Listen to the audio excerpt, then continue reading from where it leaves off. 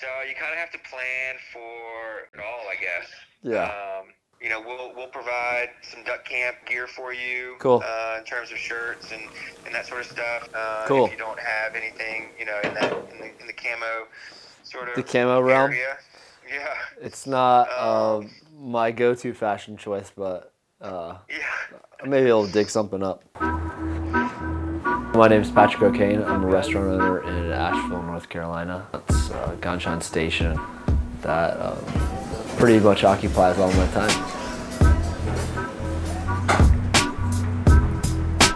I grew up eating Asian foods, and that's why I ended What's all up this right gravitating here? back towards this type of cuisine.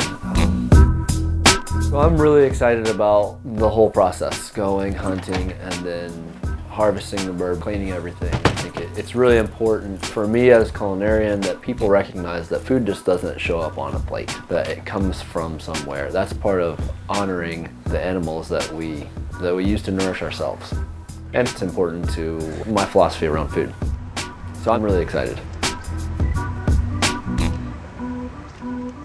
So my hunting experience is very limited at best. Um, we had BB guns as kids and we'd shoot squirrels and birds. Um, that's about it.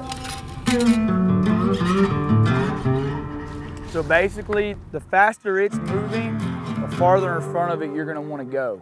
And uh, we'll watch these birds or the clays come across and kind of see where they're at see. before we go into them, unless you want the confidence builders of the ones coming. No, let's go side. Let's go side to side. All right.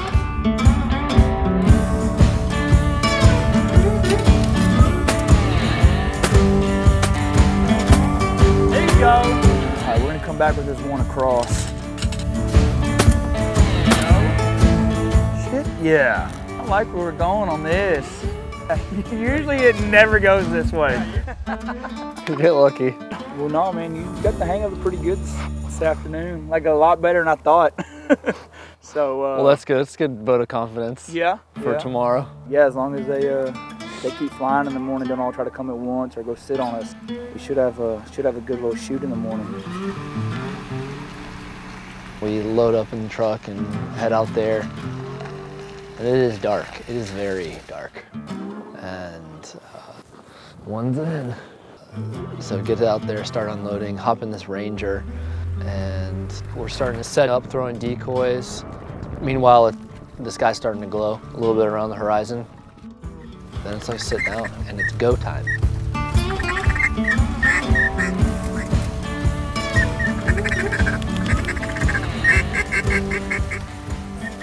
Probably not five minutes after we, we sat down the first time, three ducks come up, bang, bang, bang.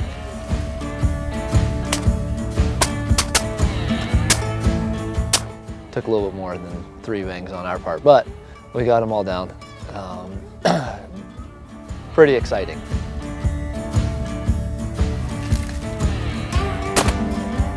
There you go. No arguing on that one. There it is. Yeah. All right, here we go.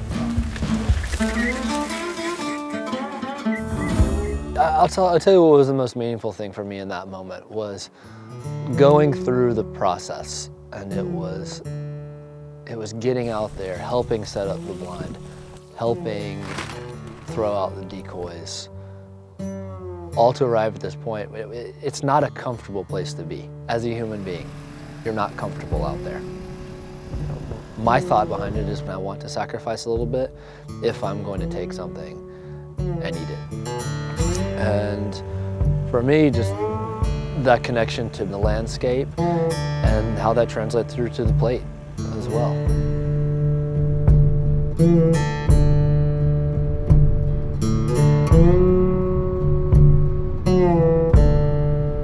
It's not just one focal point of like, oh, hey, I got the duck. It is much more of a longer narrative of hey, this this provides food here that we're gonna go get ready to eat. We're doing a red curry duck tonight. We're gonna do a salad and some jasmine rice, all cooked over fire. Should be delicious. We'll let these guys decide. And so what we'll do is you can see there's still a little feather remaining on top. We'll take the torch, we'll singe those feathers off, and then that way when we hit it on the grill super hot, it'll uh, crisp up that skin and be nice and tasty.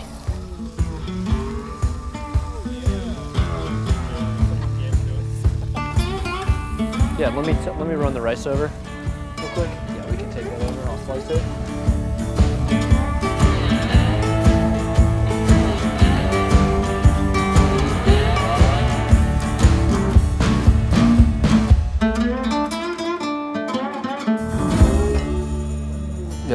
That's ready.